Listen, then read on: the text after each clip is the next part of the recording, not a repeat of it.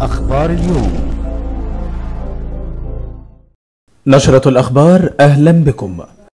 الرئيس السيسي يفتتح معرض القاهرة الدولي للاتصالات وتكنولوجيا المعلومات.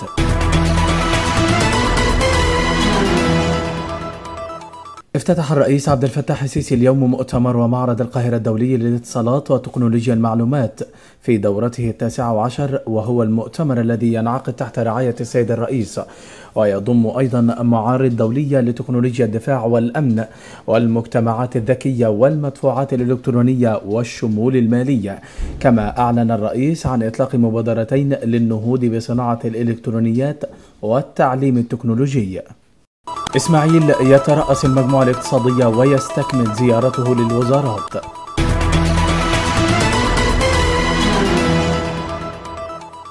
اجتمعت المجموعة الاقتصادية برئاسة رئيس مجلس الوزراء المهندس شريف إسماعيل حيث ناقشت المجموعة الاقتصادية آخر التطورات في الوضع الحالي لأسعار السلع الأساسية في السوق المحلية والإجراءات اللازم اتخاذها لضبط أسعار جميع السلع الأساسية والاستراتيجية التي تمس حياة المواطنين بشكل مباشر طبقا لآليات السوق الحر بالإضافة إلى ضخ كميات كبيرة منها في الأسواق فضلا عن فتح المجمعات الاستهلاكية في مختلف المحافظات والتنسيق مع الموردين والسلاسل التجارية لضبط منظومة الأسعار.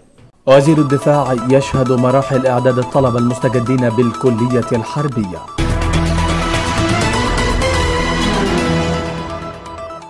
تفقد الفريق أول صدقي صبحي القائد العام للقوات المسلحة وزير الدفاع والإنتاج الحربي.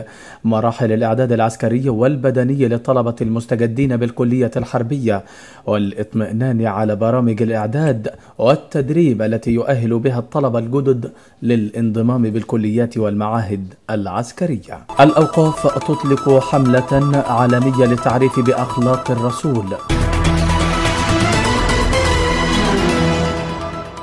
أطلقت وزارة الأوقاف اعتبارا من اليوم حملة موسعة للتعريف بنبي الإسلام وأخلاقه داخل مصر وخارجها باللغات المختلفة من خلال مفيدها ومبعوثها بمختلف دول العالم ومن خلال ترجمة بعض الأعمال في هذا الشأن وبثها على صفحاتها التي أطلقت بأكثر من لغة وستستمر هذه الحملة طوال شهر ربيع الأول وطلبت وزارة الأوقاف كل العلماء المتخصصين الوسطيين المسؤولين التركيز في محاضراتهم وبرامجهم الإعلامية على التعريف بنبي الإسلام وأخلاقه مشاركة في هذه الحملة.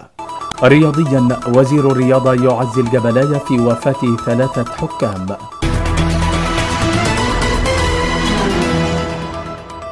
أرسل المهندس خالد عبد العزيز وزير الشباب والرياضة برقية عزاء إلى اتحاد الكرة برئاسة جمال علام ولجنة الحكام في وفاة طاقم حكام منطقة الفيوم عقب إدارتهم مباراة الطائرات والصف بدور القسم الثالث في حادث سير ووعد الوزير بصرف إعانات مالية عاجلة لأسر الضحايا خلال الفترة المقبلة. زيزو نتطلع لصناعة جيل جديد للأهلي.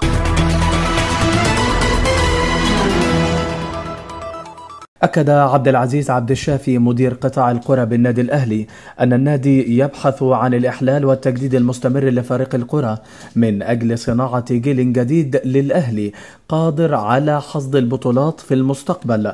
وأضاف زيزو أن النادي الأهلي لن يقف عائقا أمام مستقبل اللاعبين مشيرا إلى أنه سيتم الموافقة على احتراف بعض اللاعبين خلال فترة الانتقالات الشتوية المقبلة. نهاية النشرة. دمتم في أمان الله.